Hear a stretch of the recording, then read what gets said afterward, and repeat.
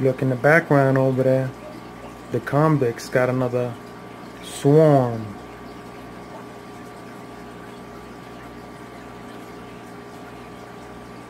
There was a whole bunch of them.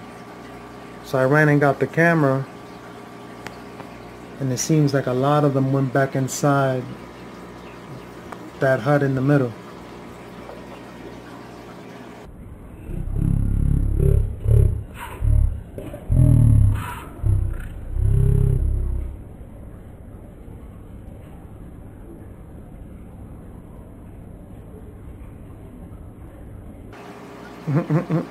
Convicts are pushing everybody out the way. They don't want anyone near their babies. And this dude right here, he's not having it.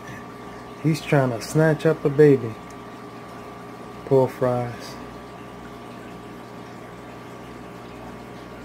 Oh, I guess uh, they herded them back on the other side. It's amazing how they can herd that whole swarm right there from one side of the tank to the next. They work together. That was him, and she's guarding them in the back. Look at their colors, though. It's pretty cool. They got like this bluish to them. Never knew they had that.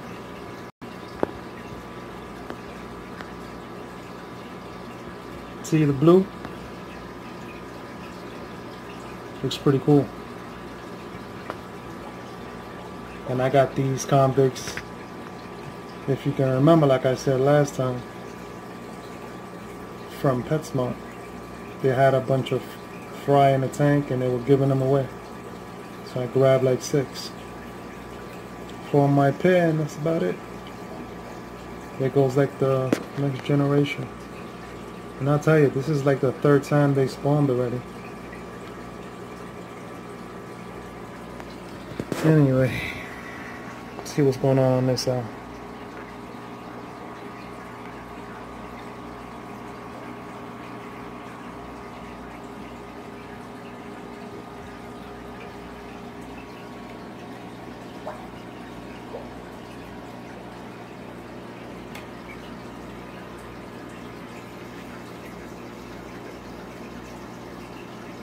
I'm gonna give him some peace. Later. trying to catch this pleco that I have here. I rarely see this dude. Oh man, I hope the camera's picking him up. But he is such an awesome little pleco. Not too big. I mean, I think he might get another inch maybe or two. But he's to stay pretty small. He's a real, real cool pleco, man. I like him. I forgot which L number he is. I'll see if I uh, go back in my old videos and look that up. But being that I rarely see this dude, I mean, he's really good at camouflaging himself. I mean, we all know some plecos only come out when it's dark and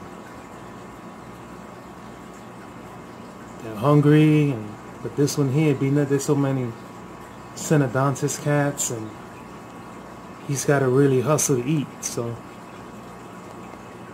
I guess that's why he's out because I just finished feeding the boys a little something before I go to work. But I hope um, it's coming out a bit. Because I know as soon as I turn on the light, he's going to book.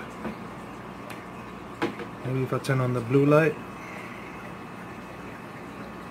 Oh man. I don't know how this is coming out, but I'm trying to give this my best.